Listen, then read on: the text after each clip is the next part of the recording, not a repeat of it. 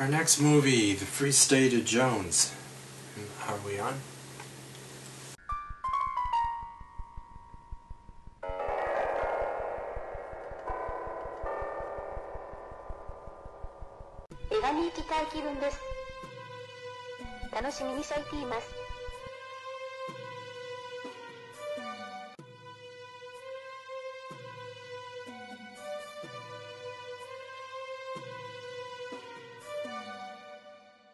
A man by the name of Newt Knight back in uh, 1863 he was in Civil War. This is a docudrama as well. Um, his his modern day family are quite proud of him from what they've indicated to me. Uh, this wasn't a very, very intelligent man. And I guess his offspring are just as intelligent as he was. He was, had a lot of wisdom. Uh, Newt Knight in 1863 was fighting in the American Civil War. He was on the side of the South, those who lost the war. And after seeing his nephew die in battle trying to, while he was trying to save his life, and he, he decided this is this war is foolish. It's just not worth it, and he goes home back to his farm.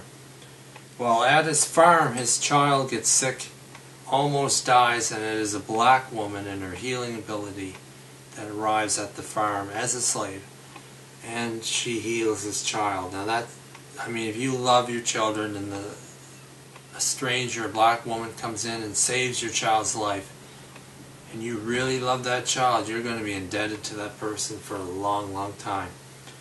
And what he found out, though as time goes by, he gets branded a traitor, right?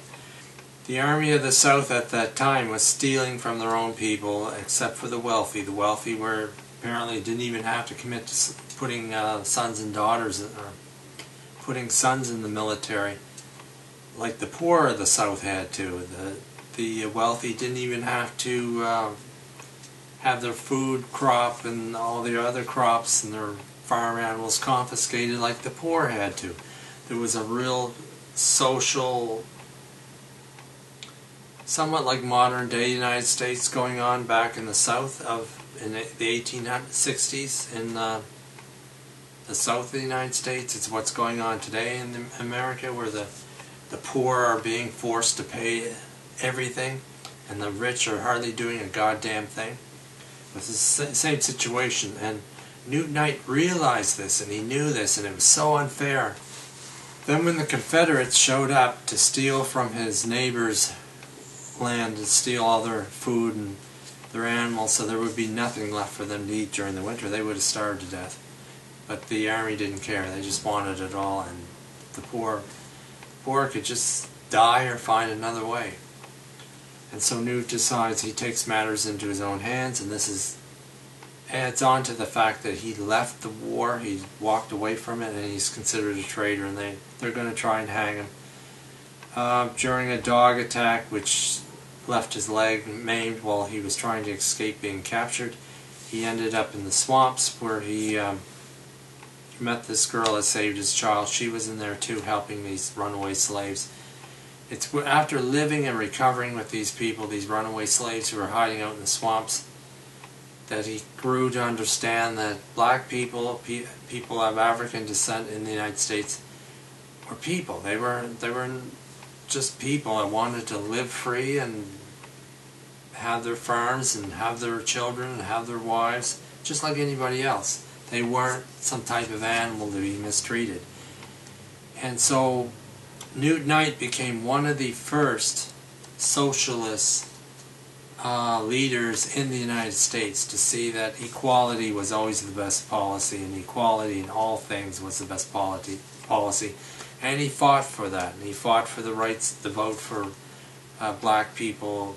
Whatever it took, he was going to make his part of the United States an equal opportunity area of the world and it almost cost him his life, but uh, he doesn't die in this movie. This is a true story. He actually goes on, but the blacks, the black black Americans paid a hell of a price. But I mean, more black people were shot in 2015 were murdered by the police departments across the United States than ever were lynched during the uh, the uh, lynching period. I don't from 18. I think it's from 1868 to 1930.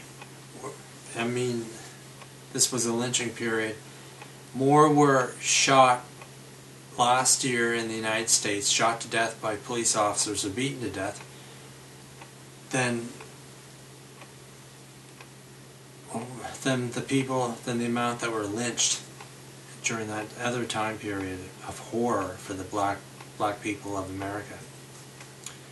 Uh, this is a really great socialist movie. It's about justice for all, equality for all, and it's just a an uplifting film. I'm surprised that it only lasted one week at the local theaters here. But this is a film you need to see if you're studying social justice and you want to see the history and the beginnings of the socialist movement in the United States towards equality. Highly recommend uh, The Free State of Jones, which was actually him creating a state within the United States because he became uh, pro um, he became pro with the Union Army. Uh, he thought the Union should win because of their stands on freedom. And so he joined his piece of Mississippi, which he broke away from Mississippi, called it the Free State of Jones, and joined up with the Union. And he actually helped the Union in the war. Uh, Free State of Jones is a ter terrific film.